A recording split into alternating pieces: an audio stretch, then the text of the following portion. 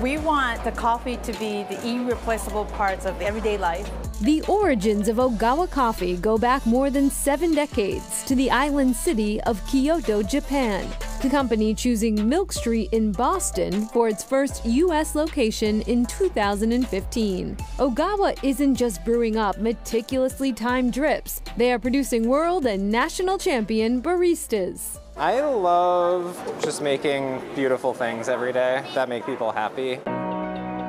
Chris Marinuzzi doesn't hold that title yet, but he is a graduate of its rigorous training program. We usually start out with doing batch brew coffee and hand drip, and only after all of those things are mastered would you move to doing espresso drinks. Five to eight months before you earn a barista badge.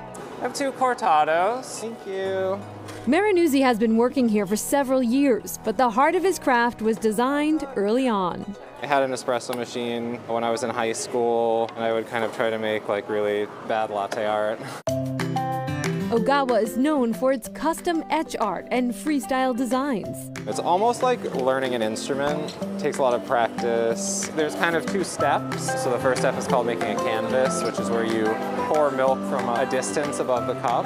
Then once the cup is about 40% full, you're gonna bring your pitcher really close to the cup because when it's really close is when the foam uh, will show up on the surface. Marinuzzi tells us it can take years to master the art of the pour.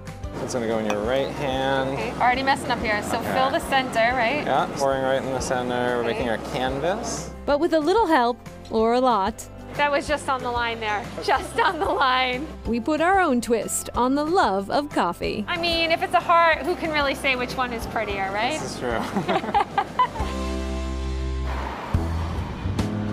Tucked away under the delicate vines of ivy, new kid on the Cambridge coffee block, Cicada Coffee Bar. People can call me Vincenzo. Uh, Vincenzo.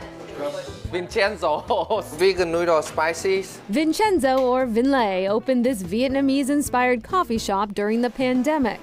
People told me, you are crazy. I believe as a human, as animal, we need to gather together. After COVID shut down his plans for a restaurant in Harvard Square, he was inspired by the saying, if you build it, or in this case, hear it, they will come. I was so upset about that, but so I went to Vermont for hiking to relax and then I hear about the sounds from the, the wood. I, oh, what is that? That's cicada. So for me, cicada, that means summer.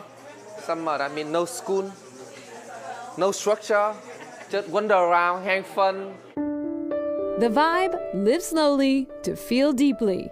I don't allow any kind of machines because I want the people living in the moment.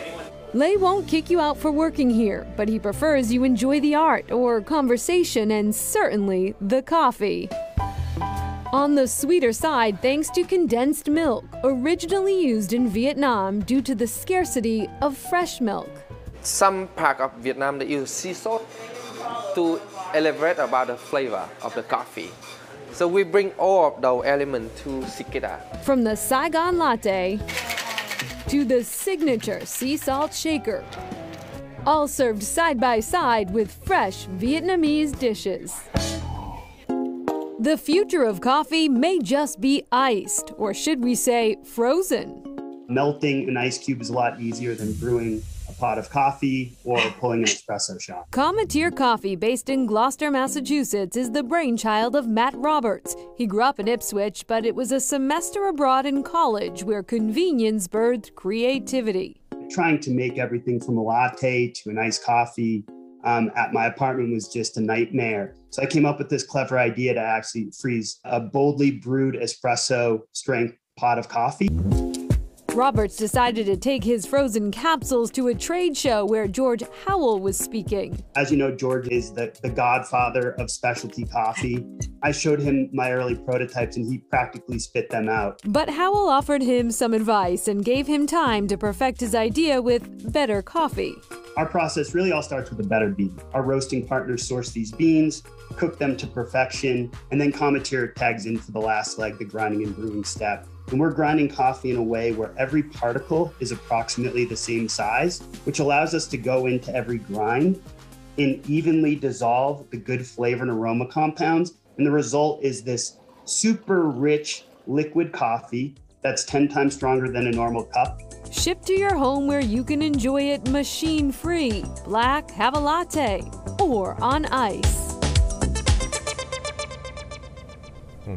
And Cometeer says that Gloucester is the perfect home for the company's flash, fresh, frozen coffee. Well, there's some history there, right? Because in the 1920s, uh, General Seafood came up with the flash freezing process for fish, and that was headquartered in Gloucester and founded by Clarence Birdseye. Everyone knows the Birdseye name, an innovator in frozen food technology. So it all comes full circle.